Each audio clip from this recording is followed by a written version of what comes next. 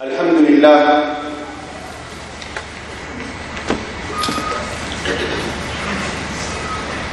الحمد لله سميع الذات.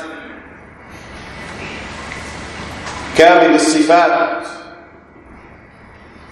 خالق الأرض والسماوات. أرسل محمدا صلى الله عليه وسلم بشيرا ونذيرا.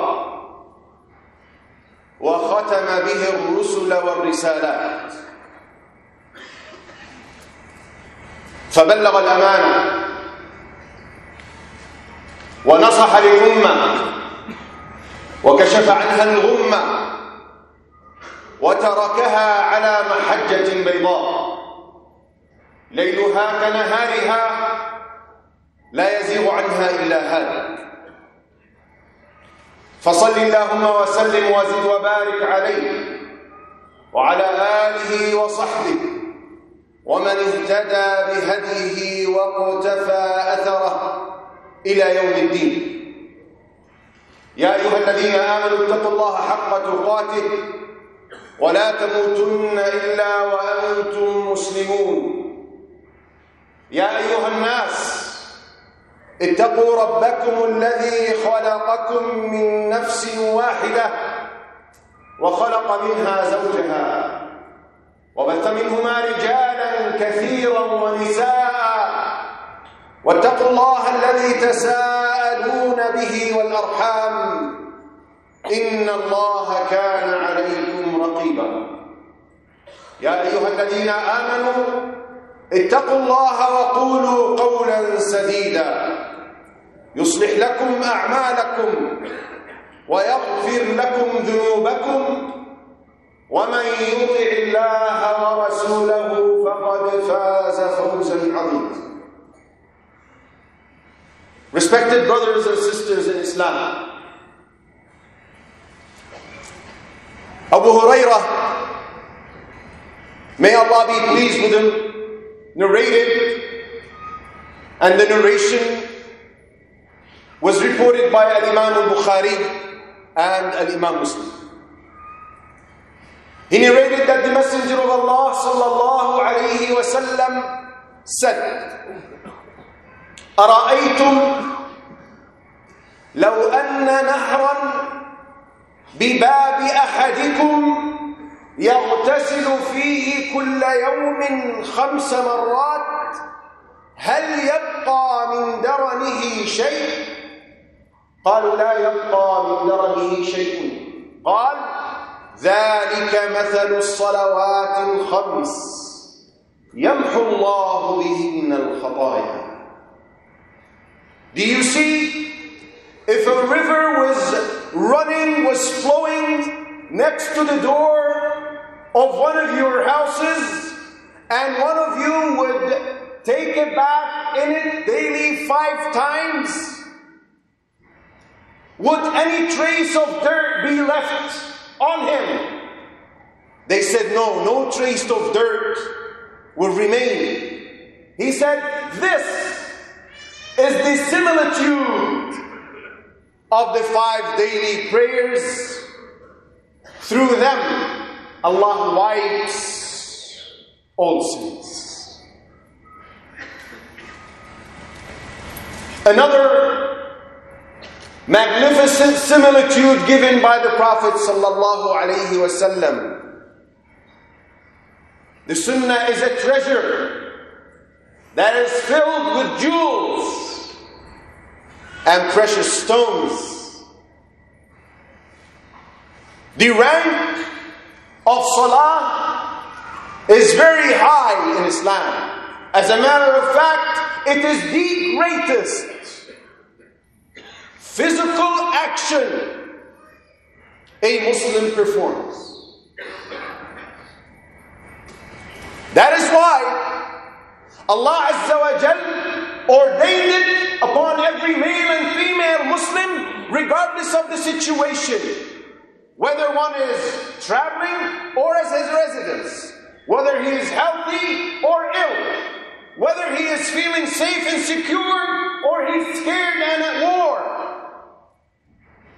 But to each situation is a suitable manner of performing the salah and a suitable number of raka'at for that salah. If you think about this, that really reflects and manifests the great importance attached to salah in Islam. When Allah Azza wa Jal does not drop it in any situation, that reflects and manifests how greatly important it is. Allah Azza wa Jal glorified the rank of Salah and raised its status. And that can be seen by many things. Number one,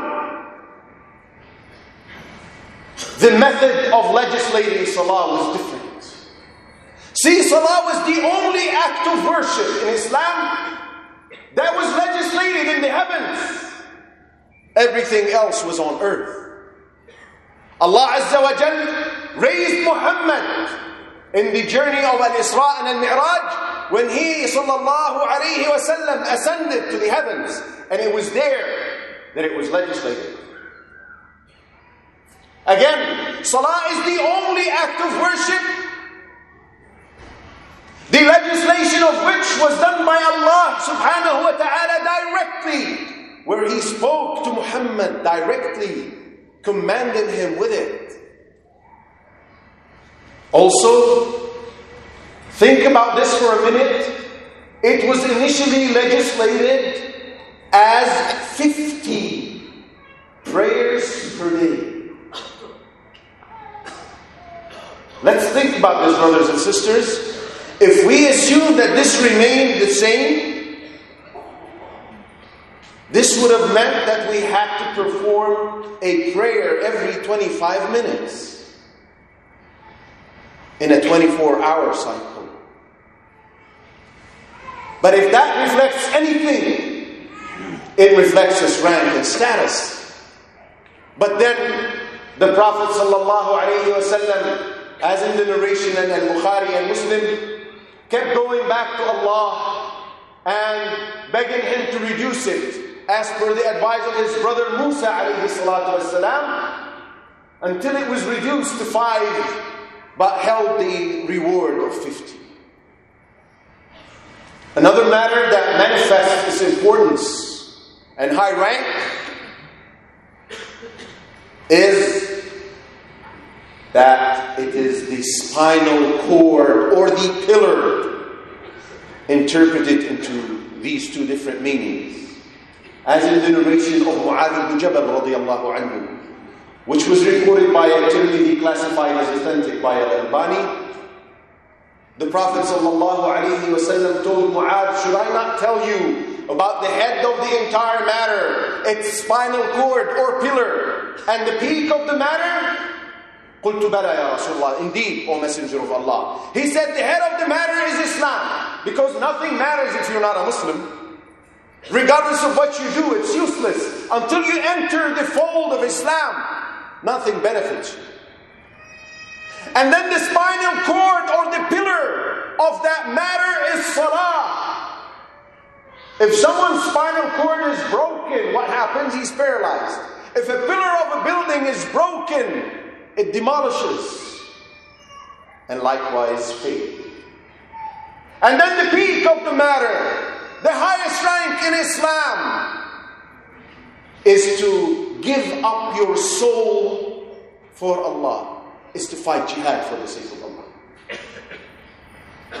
Number three, it is the first thing for which the slave male or female, will be held accountable on the day of judgment. As narrated by Abu Hurairah reported by Tirmidhi, classified as authentic by Al-Albani, the Messenger wasallam said, the first thing for which the slave will be held accountable on the day of judgment will be his salah. If it's complete, then he will succeed and be prosperous. If it's not complete, then he will be a failure and loser. And then he said, Sallallahu Alaihi Wasallam, if there's something missing, if there's a shortage in salah, then Allah will command the angels to look for optional prayers performed by the slave to make up the missing parts, to complete it. And then all other acts of worship, all other commandments will be dealt with accordingly. Number four is that it comes second in rank after a shahadatain, the two testimonies of faith. As reported by Ibn Umar, or narrated by Ibn Umar rather, and reported by Al-Bukhari and Muslim and At-Tirmidhi and others. The Prophet said, Islam was founded on five pillars. The two testimonies of faith, La ilaha illallah Muhammadur Rasulullah, through which you enter Islam. And then the first thing after that comes the establishment of prayer. Now, he said, Iqam is salah, the establishment of the prayer. And he did not say the performance, adab salah. The difference between establishing the salah and performing the salah, as defined by the scholars, is that establishing it means performing it on time, and that will come in the uh, further narrations after this. And perfecting its ruku' and its sujood and submissiveness, the state of submissiveness to Allah Azza wa Jalla. So it's not merely physical actions. It's not an exercise, one, two, three, four, and then alhamdulillah, I'm done. No. There is a spirit to it. There's a soul to it. And if we don't feel the soul and spirit, then something is wrong in the establishment of our prayers. Finally, it was to reflect its importance. It was the last thing which the Prophet ﷺ advised to Ummah to guard in their religion. الصلاة وما ملكت أيمانكم الصلاة الصلاة وما ملكت أيمانكم Safeguard your salah and fear Allah with regards to your slaves. This is reported by Ahmad, classified as authentic by Al-Albani. When the Prophet ﷺ was suffering the agonies of death, and he would wake up and say this, as in the narration through Umm Salama radiallahu anha, he would wake up and say, As-salat, as-salat. You see how important it is.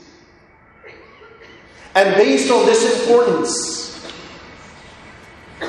Allah Azza wa Jalla promised and encouraged many fruits as a result of that. There are many benefits and fruits one can harvest by maintaining and establishing the salah. Number one, he will be admitted into Jannah. Ubadah ibn Samit anhu narrated that the Prophet ﷺ said, Allah ordained five daily prayers. The one who performs wudu properly for them, prays them on time, perfects their ruku' and the state of khushu' submissiveness to Allah. It's a pledge upon Allah to forgive him in another narration to admit him into Jannah. This is reported by Imam Ahmad in his Musnad and classified as authentic by Al-Albani. Another thing, it's a light that guides. It's a light get that guides in this life and in the hereafter. It guides you to the truth and it guides you on the sirat.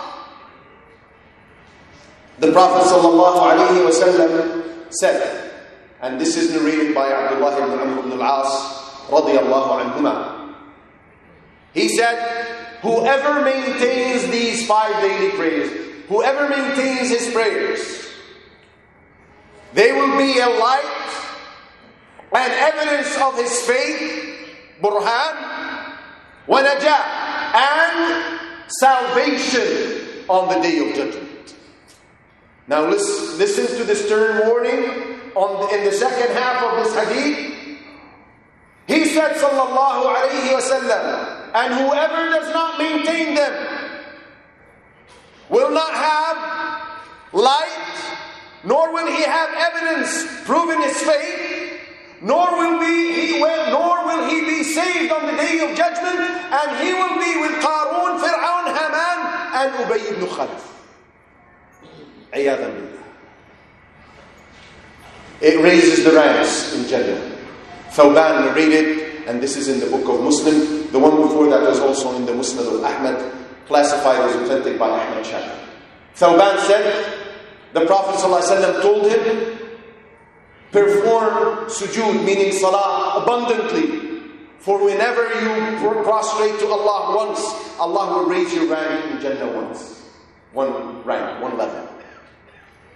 It expiates all the previous sins. Uthman radiallahu anhu narrated, and this is in the book of Imam Muslim, he said, I heard the Messenger of Allah sallallahu alayhi wasallam said, whenever a prayer is due and a Muslim stands up, performs wudu, perfects his ruku' and submissiveness, to Allah, it will expiate all previous sins so long as he does not commit a major grave sin. And this is for the rest of his life.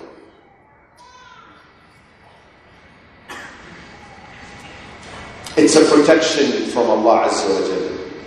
Jundub ibn Abdullah, and this is in the book of Muslim, said, Whoever prays the, the Fajr prayer will be under the protection of Allah Azza wa. You want to be in the company of Muhammad sallallahu alayhi wa sallam? Pray.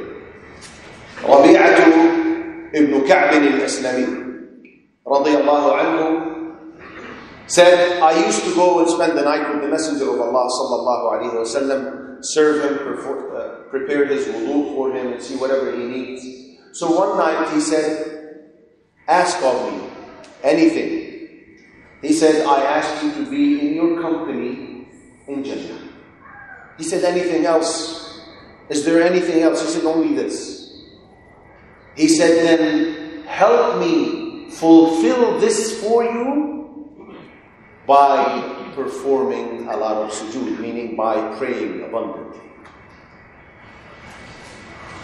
What a company! How easy is this? Very easy. And it's within reach. It's up to us to decide. We're the ones who refrain. We're the ones who run away. Allah has made it facilitated. Allah has made it easy. But we don't go, we don't seek it, we don't run after it. It doesn't take a whole lot. SubhanAllah. It is the dearest, the most beloved deed to Allah Azza wa Jal. Abdullah ibn Mas'ud radiallahu anhu said, I asked the Messenger of Allah sallallahu about the dearest, the most beloved deed to Allah Azza wa Jal. He said, performing salah on time. You'll be doing something that Allah loves the most when we perform salah on time. And this is reported by Muslim. Now, who of us, brothers and sisters, does not go through hardships, does not face difficulties? Life is filled with hardships and difficulties and problems. Who doesn't have a problem at work? Who doesn't have a problem with his family, his wife or her husband or their children? Who doesn't have financial difficulties at times? Who doesn't lose a friend, a, a relative, a beloved one? Who doesn't go through one or another's form of problems and hardships? We all do. This is the sunnah of Allah Azza wa in life. And it's the nature of people that they like to vent this out. And the best form of venting this sadness and anxiety out is to do it with Allah Azza wa And the best, the best place for you to do this is when you are in sujood to Allah Azza wa The Prophet ﷺ said, as narrated by Abu Hurairah radiallahu anhu, reported by Muslim rahimahullah, he said, the closest the slave is to Allah is whilst in the state of sujood, whilst prostrating to Allah Azza So ask Allah in dua a lot in your sujood. One of the shuyukh said, when you go down, don't go up. When you have anything in mind or in your heart that you want to ask of Allah that you didn't ask. And rest assured, he said, you will be asking the only one who can do anything for you.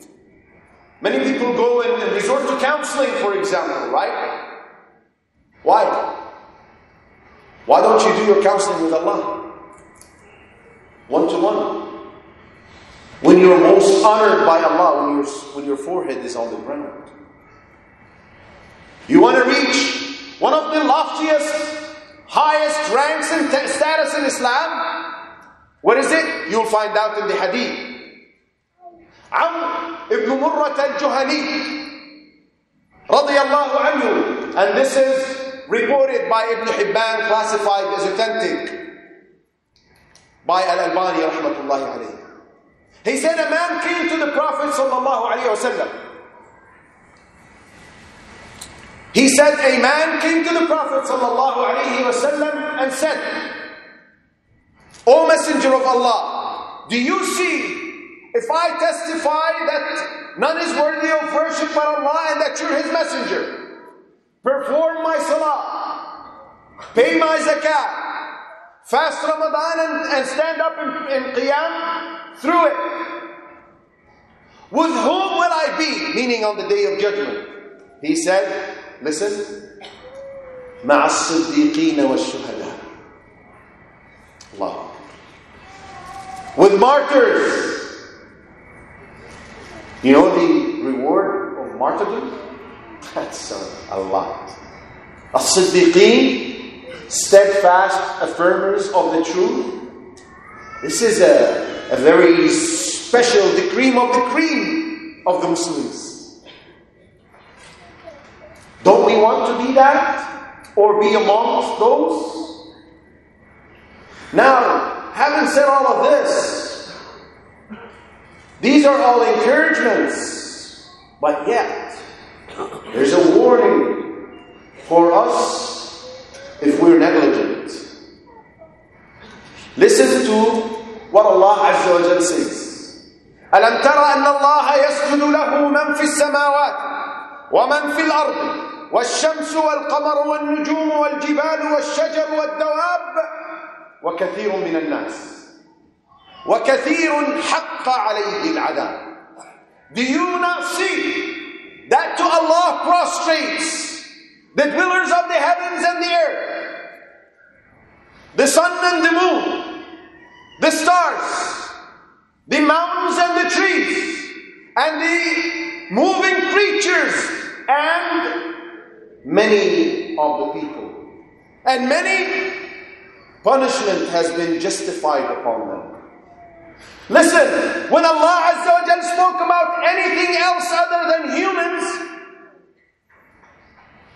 it meant everything.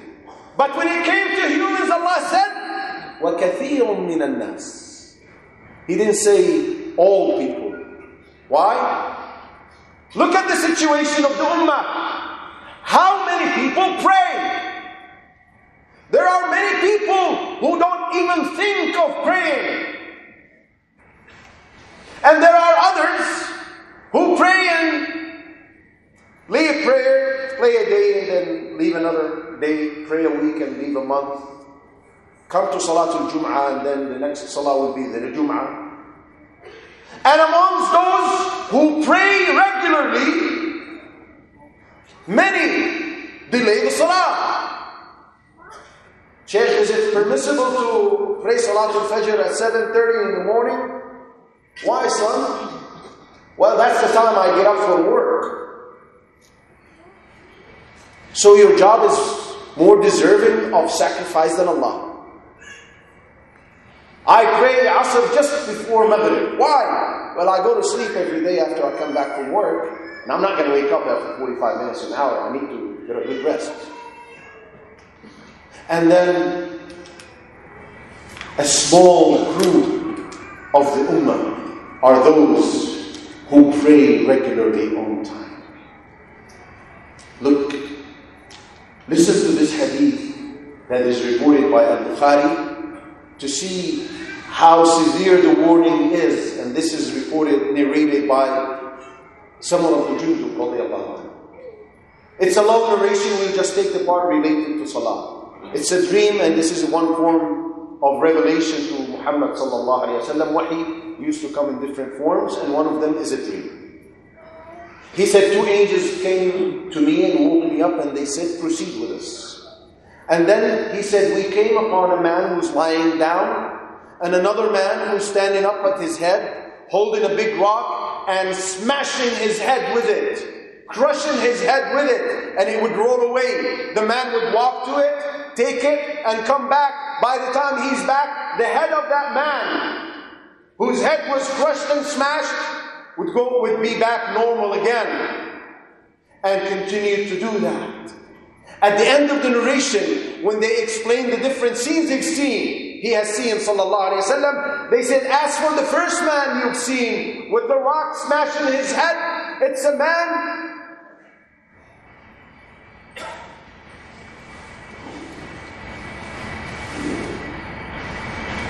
who's memorized the Quran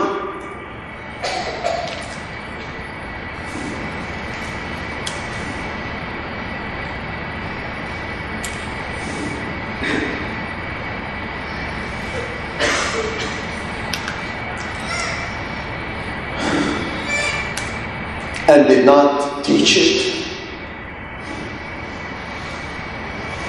or act upon it. And he used to sleep through his prayer. The scholar said, delaying the prayer until you have hardly enough time to pray it is included in this stern warning in the narration. Now, amongst this small group who regularly pray on time, a very small spectrum of these from the men pray it in the masjid. You go to Salatul Eid, you see thousands of people. You go to Salatul Isha of that same day, you have you hardly have a line or two in the masjid. Where are the people? The Prophet ﷺ, and this is reported by Al Bukhari, narrated by Abu Hurairah, radiallahu anhu. He said, the hardest two prayers on hypocrites are Isha and Fajr. And if they knew the reward in them, and had no means to reach but crawling, they would have come crawling to it. And I was about to command for firewood to be collected, and then instruct a person to call the adhan, and then appoint a man to lead the people in prayer, and go to the houses of those who stayed behind and did not join the congregation in the prayer, and burn them in their houses. How can Prophet say such a harsh and aggressive warning for something that is recommended?